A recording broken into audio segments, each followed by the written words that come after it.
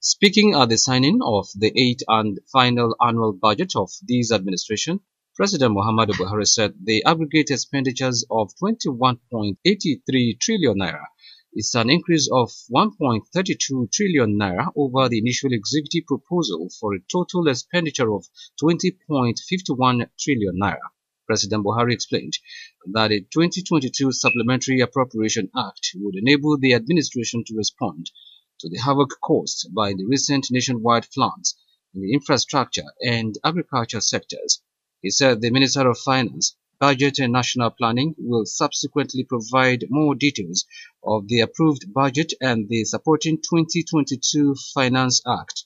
The 2023 budget that I have the honor of signing into law today provides for aggregate expenditures of 21.83 trillion naira, an increase of 1.32 trillion naira over the initial executive proposal for a total expenditure of 20.51 trillion naira.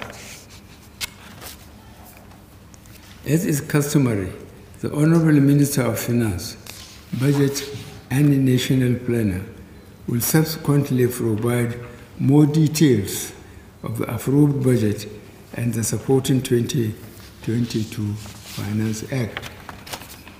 We have examined the changes made by the National Assembly to the 2023 Executive Budget Proposal.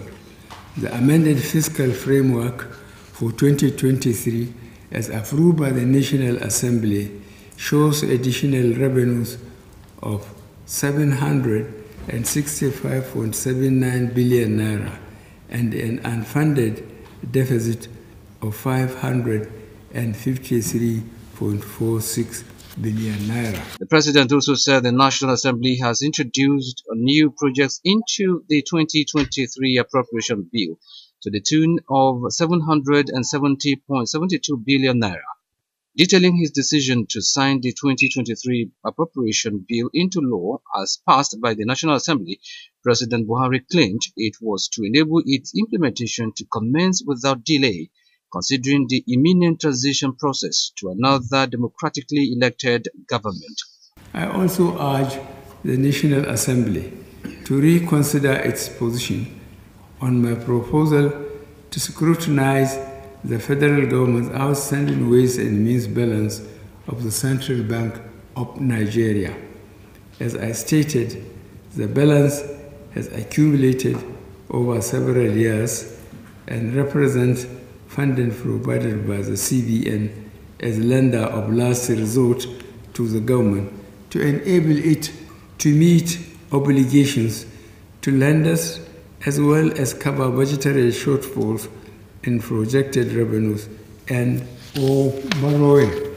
Meanwhile, he urged the National Assembly to reconsider its position on his proposal to securitize the federal government outstanding ways and means of balance at the Central Bank of Nigeria CBN. Organic Victor, ITV News.